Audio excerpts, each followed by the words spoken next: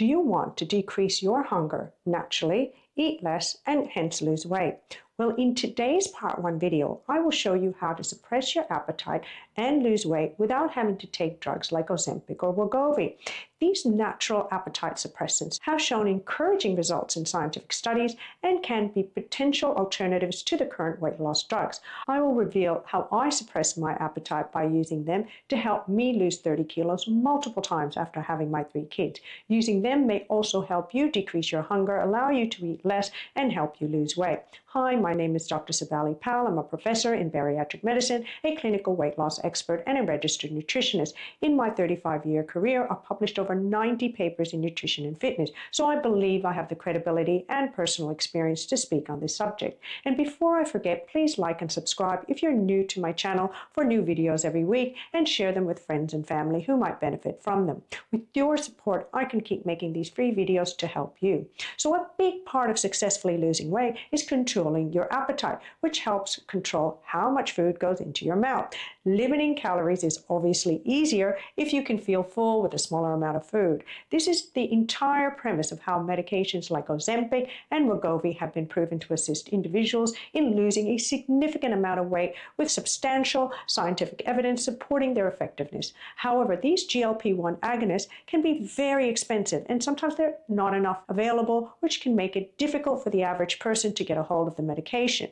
So the question is, is there a way to turn on the same fullness pathway naturally rather than with a prescribed drug and achieve similar hunger suppressing response?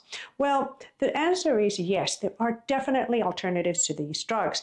These alternatives claim to provide similar benefits to injectable GLP 1 medications, but they're more convenient and can be also more affordable, sometimes found in powder or pill forms. After you eat a meal, your body naturally produces the hormone called GLP 1 in the small intestine and then releases it into the bloodstream. However, taking medications like Ozempic increases the levels of GLP 1 even more than eating alone, thereby helping your body control its response to food more effectively. GLP 1 helps keep your blood sugar level stable by binding to the GLP 1 receptor in the pancreas, which then causes insulin to be released from the pancreas. The increase in insulin in the bloodstream then helps lower blood sugar levels. GLP 1 also slows digestion by inhibiting peristalsis of the stomach and makes you feel full and the signals to the brain receptors, making you feel less hungry. Therefore, it's a no brainer that anything that increases GLP 1 levels can be beneficial for managing diabetes and your weight. Number one, HIIT one of the downsides after a tough workout is feeling extremely hungry, which can lead to binging, making it difficult to achieve weight loss goals. Believe it or not, high intensity interval training or HIIT, which involves short bursts of intense exercise followed by rest or low intensity periods, can significantly increase GLP 1 secretion, regulate blood sugar levels, and appetite. The intense nature of HIIT boosts the metabolism and enhances insulin sensitivity, which can also lead to increased GLP 1 levels. A systematic review and a meta analysis published in the International Journal of Diabetes found that short term and long term HIIT significantly increased increased GLP-1 levels in individuals with type 2 diabetes. Research published in Cardiovascular Diabetology showed that HIIT improved metabolic syndrome factors and was associated with reduced inflammation markers. Well, a clinical research study showed that doing HIIT or high intensity interval training can help reduce your appetite. The study found that overweight men who did 30 minutes of HIIT ate fewer calories compared to when they did moderate intensity exercise for the same period of time. It seems that after doing HIIT, they feel less hungry. This is because HIIT reduces the hormone ghrelin along with the increase in GLP-1, which makes you feel less hungry. HIIT also increases peptide PYY levels, suppressing appetite. Another study highlighted that HIIT increases the activity of interleukin 6, which also plays a role in reducing appetite. These studies all suggest that HIIT can regulate blood sugar levels and promote satiety, making it a potential natural aid for managing appetite and supporting weight loss.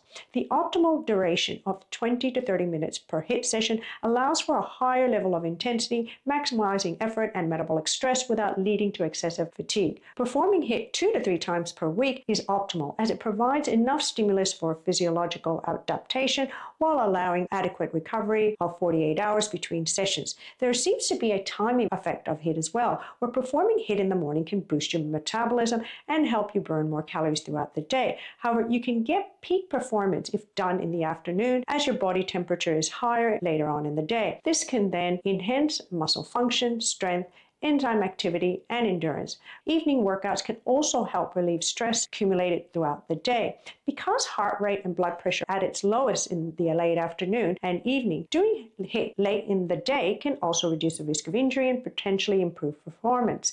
Ultimately, the best time for HIIT depends on when you feel most energetic and motivated. Experimenting with different times can help you find what works best for your body and schedule.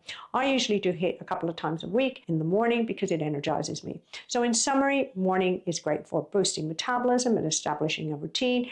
In the afternoon, it's ideal for peak performance and quick reaction times. And in the evening, it's good for stress relief and lowers the risk of injury.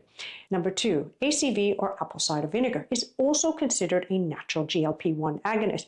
Acetic acid, the primary active component in ACV, can slow gastric or stomach emptying, which helps prolong the feeling of fullness and can lead to increased GLP 1 levels. A study published in the Journal of Functional Foods found that ACV consumption before a meal significantly increased after meal or postprandial GLP 1 levels and improved glycemic control in healthy adults. Research published in Nutrition and Metabolism shows that ACV intake reduced body fat and waist circumference, which was associated with increased GLP 1 levels. A meta analysis published in BMC Complementary Medicine and Therapies reviewed multiple studies and concluded that ACV consumption improved lipid profiles and glycemic control, potentially through mechanisms involving GLP 1.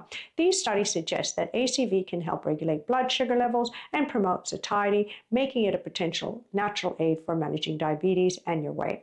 I've made a long video on ACV. If you'd like more detail and information on this, you can watch it on here on my channel. By incorporating ACV into my diet, I get the health benefits without overwhelming my taste buds. I mix one to two tablespoons of ACV in a glass of water, add a bit of honey, sweetener, or lemon juice to improve the taste. Drinking a diluted ACV solution before meals can also help with digestion and appetite control. I usually combine ACV with olive oil, mustard, and herbs for a tangy salad dressing, or I use use ACV in marinades for vegetables and meat to add flavor and tenderize. I also add a tablespoon of ACV to fruit or green smoothies because the strong flavors of the fruits and vegetables will mask the vinegar taste. I use a splash of ACV to enhance the flavor of soups, stews, and pasta sauce. You can also add a tablespoon of ACV to your herbal teas for an extra health boost, sparkling water, and a bit of fruit juice for a refreshing drink. Begin with a small amount and see how your body reacts and gradually increase the dosage. Make sure you use organic, unfiltered ACV. Look for the ACV containing the mother, a colony of beneficial bacteria. Number three, spermidine is a natural occurring polyamine found in various foods and has been studied for its role as a natural GLP 1 agonist. Spermidine is involved in cellular metabolism, autophagy, and processes that influence the secretion of GLP 1. Its anti inflammatory properties may also hence GLP-1 secretion. A study published in Nature Communications found that spermidine supplementation improved metabolic health markers, including increased GLP-1 levels in animal models. A human clinical study published in Cell Reports indicated that spermidine intake was associated with improved metabolic health and increased GLP-1 levels in older adults. Another study in the Frontiers of Pharmacology demonstrated that spermidine could enhance GLP-1 secretion through its effect on cellular metabolism and autophagy. Spermidine is naturally found in various foods. As you can see by this table, wheat germ, one of the richest sources of spermidine, a cheese contains high levels of spermidine. Soy products, including natto and tofu, legumes such as lentils and chickpeas, mushrooms, especially shiitake mushrooms, whole grains like brown rice and oats, vegetables including broccoli, cauliflower, and green peppers. I take spermidine every day in the form of a powder chlorella.